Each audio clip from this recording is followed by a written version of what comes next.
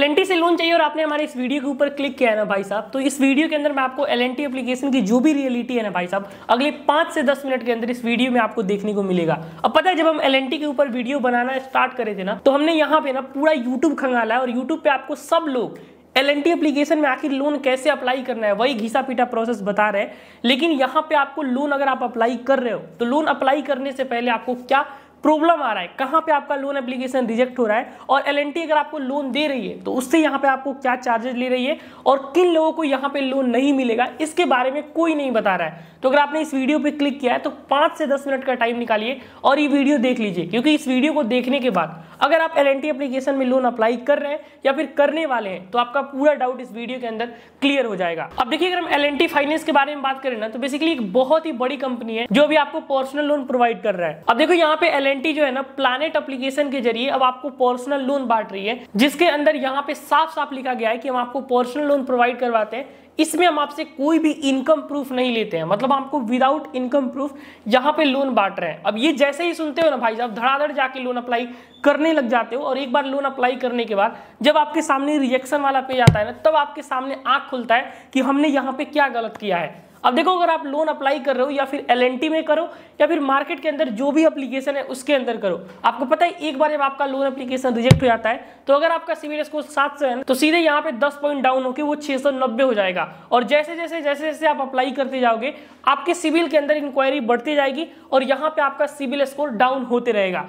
तो सबसे पहले ना, यहाँ पे हम LNT के बारे में अगर हम बात कर रहे हैं तो ये एप्लीकेशन आपको कितना पर्सनल लोन प्रोवाइड कर रही है और यहाँ पे किन किन लोगों को प्रोवाइड कर रही है, सबसे पहले ये समझ लो और उसके बाद हम यहाँ पे चार्जेस भी समझेंगे। और फाइनल में आपको गोल्डन एक टिप्स भी दूँगा, जिसको अगर आप अप्लाई करते हो तो डेफिनेटली यहाँ से आपको लोन मिल सकते हैं। तो अभी हम एल की जो प्लानेट एप्लीकेशन है, इसके अंदर है, और यहाँ पे अगर आप ध्यान से देखो दोस्तों तो यहाँ पे ऑनलाइन पर्सनल लोन के बारे में जो भी इनके हाईलाइट्स है, वो मैंशन करे गए और ये समझना आपके लिए बहुत ही ज़रूरी है तो देखो, यहाँ पे ना जो अमाउंट के बारे में अगर हम बात करें लोन का तो ये लोग आपको मिनिमम पचास हज़ार से लेके पच्चीस लाख रुपए तक का लोन प्रोवाइड करते हैं। अगर हम टाइमिंग के बारे में बात करें कि आप लोन कितने टाइम के अंदर वापस कर सकते हैं तो 12 महीनों से लेके 60 महीनों तक का टाइम मिलता है, जिसमें अपने लोन का पैसे को आप वापस कर सकते हो। और यहाँ पे जो इनका परसेंटेज रेट है ना भाई साहब, आपके लोन के ऊपर, वो यहाँ पे 10.5 परसेंट से स्टार्ट होता है और ये मैक्सिमम 26 परसेंट तक जाता है। और प्रोसेसिंग फ़ी के बारे में बात करें तो यहाँ पे आपको जितना लोन मिलेगा इसके ऊपर आपको ज़ीरो परसेंट से लेकर तीन परसेंट तक के बीच में प्रोसेसिंग फ़ी लेना पड़ेगा। तो यहाँ पे बस आपको बताया गया कि हम आपको इस बीच के अंदर आपके लोन के ऊपर यहाँ पे इंटरेस्ट रेट लेंगे और प्रोसेसिंग फ़ी लेंगे, लेकिन एक्यूरेट नहीं बताया गया है। तो एक बार हम जो लोन अप्लाई कर चुके हैं, उसका हम एक बार कैलकुलेट करके आपके सामने रखते हैं कि क्या रेट ऑफ़ इंटरेस्ट आपको लोन दिया जा रहा है, कितना का ईएमआई बनेगा, ताकि ये जो सीन है दोस्तों, वो आपके दिमाग में फिट बैठ जाए और आपको पूरा इनका चार्जेस वाला सीन समझ में आ जाए। तो यहाँ पे आप देख सकते हैं कि जो लोन अमाउंट ऑफ़र किया गया है दोस्तों, वो यहाँ पे एक लाख पचपन हज़ार आठ सौ पैंतालीस रुपए का लोन हमें मिल रहा है। छत्तीस महीने के अंदर इस लोन को हमें वापस करना है और जो रेट ऑफ़ इंटरेस्ट हमारे लोन के ऊपर लगाया गया है, वो अट्ठारह के आसपास यहाँ पे रेट ऑफ़ इंटरेस्ट लगाया गया है। तो अगर आप इसे बैंक के मुकाबले भी कंपेयर करो ना तो ये ज़्यादा रेट ऑफ़ इंटरेस्ट नहीं निकल के आता है। और छप्पन रुपए का हमारा ईएमआई e बनेगा। तो यहाँ पे अगर हम छप्पन रुपए के ईएमआई e से अगर थर्टी सिक्स मंथ तक का कैलकुलेट करें तो दो लाख दो हज़ार आठ सौ चौबीस रुपए के आसपास आपको ये पेमेंट करना होगा तीन साल के बाद अगर आप एक लाख पचपन हज़ार रुपए का लोन लेते हैं तो, तो यहाँ पे अगर हम इंटरेस्ट रेट के बारे में बात करें तो ये भी यहाँ पे ज़्यादा नहीं लग रहा है। अब बात करते हैं ना दोस्तों अगर एक लाख पचपन हज़ार के आसपास अगर आपका लोन अमाउंट यहाँ पे ऑफ़र किया गया है तो इसका दो परसेंट आप सीधे माइनस कर दो।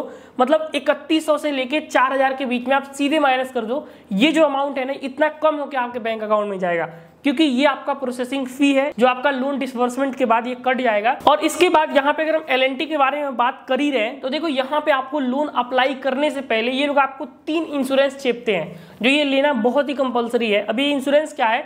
तो देखो, सत्रह रुपए का एक इंश्योरेंस आता है, जिसके अंदर अगर आपका इनकेस अगर डेथ हो जाता है तो आप ये लोन रिकवरी कर सकते हैं। उसी प्रकार से एक साढ़े छह सौ का इंश्योरेंस जो आपका हेल्थ होता है, एक पंद्रह सौ का भी इंश्योरेंस आपको लगाया जाता है। मतलब ओवरऑल पैंतीस सौ रुपए का आपको इंश्योरेंस लेना ही पड़ेगा यहाँ से लोन अप्लाई करने के लिए। तो यहाँ पे आपको ये बात समझना पड़ेगा, अगर आप लोन अप्लाई करने वाले हो तो। और एक चीज़ मैं आपको और बता दू, क्योंकि कई बार क्या लगता है ना कि आपको अगर अप्लीकेशन बोल रहा है कि हम आपसे कोई भी इनकम प्रूफ नहीं लेते हैं तो धड़ाधड़ जो काम नहीं करते जो स्टूडेंट वगैरह है, जाके लोन अप्लाई करते हैं तो अगर आप दोस्तों एक स्टूडेंट हो और आप एलएनटी के अंदर जाके लोन अप्लाई कर रहे हो तो भाई साहब, मेरा मानो कि आप सिविल की माँ बहन नहीं करवाओ, क्योंकि यहाँ पे एलएनटी सिर्फ़ और सिर्फ़ सैलरीड पर्सन और सेल्फ एम्प्लॉयड को ही लोन बांटता है। तो अगर आप इन दोनों क्राइटेरिया के अंदर आते हो और बैंक के अंदर आपके पैसे आते हैं जेनविन पर्सन हो तो आप जाके लोन अप्लाई कर सकते हो। अगर हम सिविल के बारे में बात करें तो 700 प्लस अगर आपका सिविल स्कोर होगा, तभी आपको एलएनटी लोन ऑफ़र करेगा। उससे कम सिविल स्कोर वालों को यहाँ पे लोन मिलना बहुत ही मुश्किल हो जाएगा। और एक बार जब आप पर्सनल लोन ले रहे हो ना भाई साहब आई यहाँ पे टाइम टू टाइम दे देना, क्योंकि अगर एक बार ई ईएमआई मिस कर देते हो ना तो आप कितने बड़े ट्रैप में फंस जाओगे और कितने बाउंस चार्जेस आपसे ले लिए जाएँगे।